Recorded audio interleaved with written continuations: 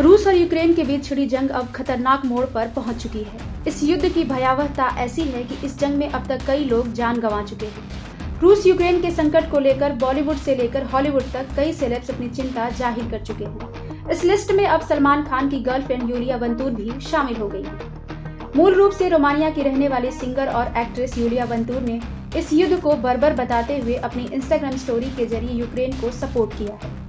Yulia ने रूस और यूक्रेन विवाद पर एक तस्वीर पोस्ट की है, जिसमें एक रूसी व्यक्ति एक महिला को गले लगाते हुए नज़र आ रहा है और उसके हाथ में एक बोर्ड भी है, जिस पर लिखा है, मैं रूसी व्यक्ति हूँ, लेकिन आपके साथ जो हुआ, उसके लिए आपसे माफ़ी माँगता हूँ।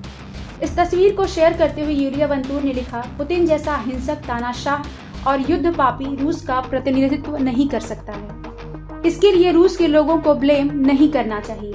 तो वहीं यूलिया ने यूक्रेन के राष्ट्रपति की तारीफ़ करते हुए एक न्यूज़ को शेयर किया है, जिसमें उन्होंने लिखा है कि ये खबर यूक्रेन के राष्ट्रपति वोलोडिमिर जेलेंस्की के बारे में थी। जिसमें कहा गया कि अमेरिका ने जेलेस्की को बचाने का प्रस्ताव दिया था, लेकिन उन्होंने देश को बचाने का फैसला किया और कहा कि मुझे युद्ध के लिए हथियार चाहिए, किसी राइट की ज़रूरत नहीं है। बता दें कि बॉलीवुड में अब तक कई सेलेब्स इस मामले पर बोल चुके हैं। गीतकार जावेद अख्तर यूक्रेन और रूस के जंग में ताकतवर देशों के चुप रहने को लेकर सवाल उठाया था। वही रिचा चड्ढा अरशद वारसी से लेकर तिलोत्मा सोम सहित कई स्टार्स ने इस मामले पर चुप्पी तोड़ी थी।